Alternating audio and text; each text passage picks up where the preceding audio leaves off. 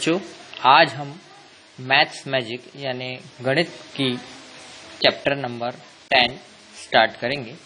सबसे पहले ये पेज मैं आपको दिखा रहा हूँ, इसलिए दिखा रहा हूँ कि आपको इस पेज में, यहाँ पे देखिए, इस किनार में एक कॉर्नर पे एक ये डिज़ाइन बना हुआ दिख रहा है। ऐसा ही एक डिज़ाइन यहाँ सामने बना हुआ दिख रहा है।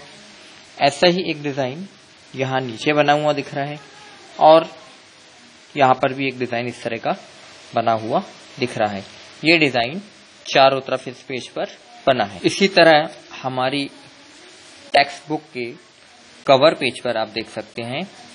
यहाँ पर जैसे हम घर को सजाने के लिए तोरण लगाते हैं, उस तरह की तोरण बनी हुई है। या अगर हम मैथ्स की बात करें तो यहाँ पर उल्टे यानी अपोजिट ट्राइंगल्स बने हुए दिख रहे हैं।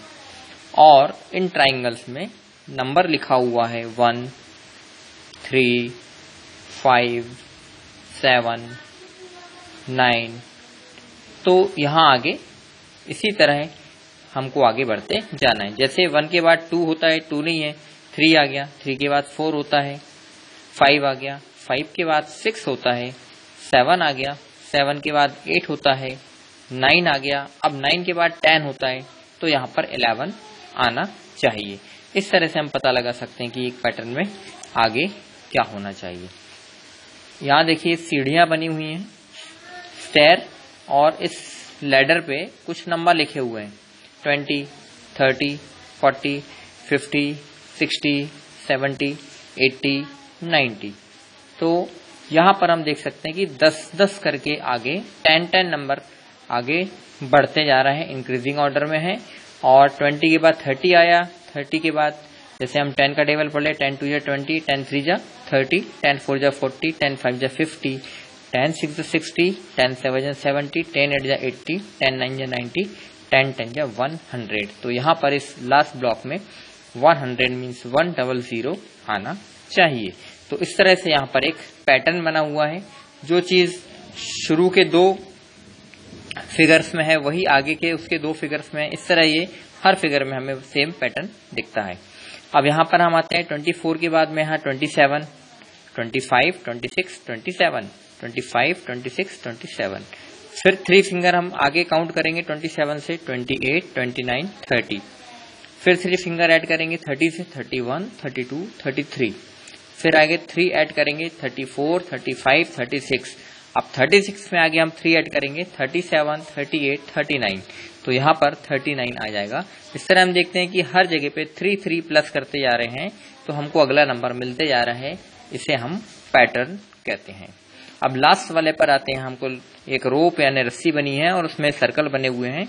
और यहाँ हम नंबर लिखे हुए हैं फाइव टेन फिफ्टीन ट्वेंटी इसे थोड़ा हम ध्यान से देखें तो हमें यहाँ नज़र आएगा। फाइव वन जो फाइव फाइव टू जो टेन फाइव थ्री जो फिफ्टीन फाइव फोर जो ट्वेंटी तो नेक्स्ट जो है वहाँ फाइव फाइव जा यानी ट्वेंटी फाइव आना चाहिए। जब हम देखते हैं कि एक ही तरह से पिक्चर फ़ोटो संख्या अल्फ़ाबेट आगे बढ़ रहे होते हैं तो उसे हम कहते हैं पैटर्न आज हम स्टार्ट करेंगे page number 144 one double four chapter number 10 play with patterns यहाँ पर आप देख सकते हैं कि इस तरह के वायर्स हम कहीं पर देखे हैं, जहाँ हम मेड़ या फेंसिंग देखते हैं, वहाँ इस तरह वायर होता है और बीच में कील की तरह का शेप बना हुआ होता है। फिर वायर होता है, फिर कील की तरह शेप बना हुआ है, और ये बार बार वैसा ही चल रहा है। दूसरा फ़ोटो हम यहाँ देख रहे हैं, इस फ़ोटो में हम, हमारे घर में देखा होगा, हमने खिड़की होती है, खिड़की पर इस तरह का ग्रिल लगा हुआ होता है, जिसमें एक ही डिज़ाइन पहली बार, दूसरी बार, तीसरी बार, चौथी बार। फिर वही डिज़ाइन नीचे बनाए फिफ्थ सिक्स सेवंथ एट फिर वही डिज़ाइन नीचे बनाए नाइन्थ टेंथ इलेवेंथ ट्वेल्थ वही डिज़ाइन नीचे बनाए थर्टीन फोर्टीन फिफ्टीन सिक्सटीन तो ये जो डिज़ाइन है, इसी को बार बार लगाया हुआ है, ये भी एक पैटर्न है। नीचे वाला पिक्चर देखिए, एक स्नैक का पिक्चर बना हुआ है स्नैक की बॉडी बनी हुई है। और इसके ऊपर ये जो स्पॉट्स बने हुए हैं, ये देखिए, जो डिज़ाइन बना हुआ है, वो पूरा आगे तक वैसे ही बनता हुआ जा रहा है। तो ये भी एक पैटर्न आपने घर पे अपने मम्मी के साड़ी में भी कभी देखा होगा, साड़ी में इस तरह के डिज़ाइन बने होते हैं। ये डिज़ाइन भी एक पैटर्न की तरह चलते हैं। आप देख रहे हैं कि एक मोर बना हुआ है, ये नीचे की तरफ़ उसका मुँह है। दूसरा जो मोर बना है, इसका मुँह इस तरफ़ नीचे किया हुआ है। फिर तीसरा मोर बना है, इसका मुँह वापस पहले वाले जैसा है। इसका मुँह फिर इस दूसरे वाले मोर की तरह है। इसी तरह ये पैटर्न पूरा चल रहा है। इन पैटर्न का उपयोग करके कपड़ों में भी डिज़ाइन बनाए गए होते हैं। ऐसा ही एक पैटर्न यहाँ पर नीचे भी हमारी टेक्स्ट बुक में दिया हुआ है। अब हम आ जाते हैं पेज नंबर 146 पर। यहाँ पर एक पिक्चर को देखिए। I have made some patterns of picture I have used a rule for each pattern अब यहाँ एक हमको इससे रूल निकालना है। बॉय बॉय कितने बॉय हो गए हैं? टू बॉय फिर one girl boy boy two boy one girl boy boy two boy मतलब two boy one girl two boy one girl two boy अब यहाँ पे कौन आना चाहिए? One girl the rule for this pattern is there is one girl after every two boys then this is repeated यहाँ पर हर दो लड़कों के बाद एक लड़की है। हर दो लड़कों के बाद फिर एक लड़की है। फिर दो लड़कों के बाद एक लड़की है। इस रूल को ये फॉलो करते हुए ये एक पैटर्न बना हुआ है। अगला पैटर्न हम यहाँ देखते हैं। एरो बना है, ऊपर की तरफ़ है। अगला एरो नीचे की तरफ़ है।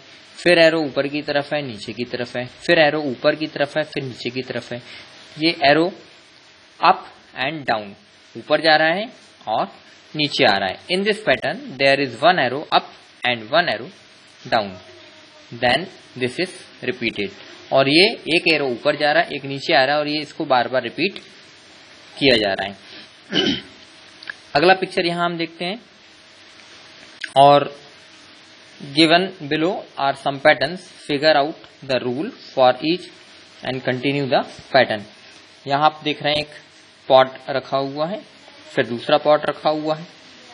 पहला पॉट में कलर नहीं है, दूसरे पॉट को डार्क कलर किया है। फिर थर्ड पार्ट को लाइट कलर है, फिर फोर्थ पार्ट को डार्क कलर किया है।